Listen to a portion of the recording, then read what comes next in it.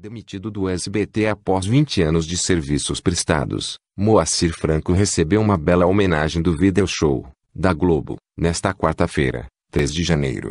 Anunciado pelos apresentadores Joaquim Lopes e Sofia Brão como grande artista, ele foi até os estúdios Globo para um encontro com o repórter Rafael Cortez, onde relembrou algumas passagens de suas passagens pela emissora.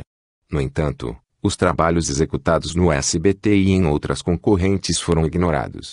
Apesar disso, Moacir aparentou alegria ao rememorar seus trabalhos no canal Carioca. Não quero parar tão cedo e tenho muita história para contar, disse Moacir, que assistiu às cenas de Moacir Franco Especial, Moacir TV e Praça da Alegria, exibidos na Globo.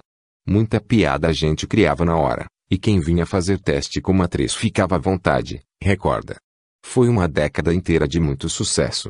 O incêndio que atingiu a Globo em 1976 durante seu programa também foi lembrado. Eu tenho muita emoção de falar disso. Foi uma hora de olhar para o lado, gente de todas as áreas correndo com aquelas latas, de filmes, o fogo comendo. Não dava mais para entrar. A gente entrava assim mesmo. Foi muito bonito. Moacir aproveitou também e falou sobre o início de sua carreira artística. Eu era pintor de uma oficina, Fazia carroceria de caminhões.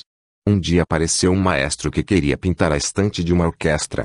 Ele me perguntou quanto era serviço, e eu falei: se o senhor me deixar cantar um bolero eu faço de graça. E eu fiz. Foi a Orquestra Tapajós, disse. Para saber mais se inscreve em nosso canal para receber novas informações e deixe seu joinha para nos ajudar. Demitido do SBT após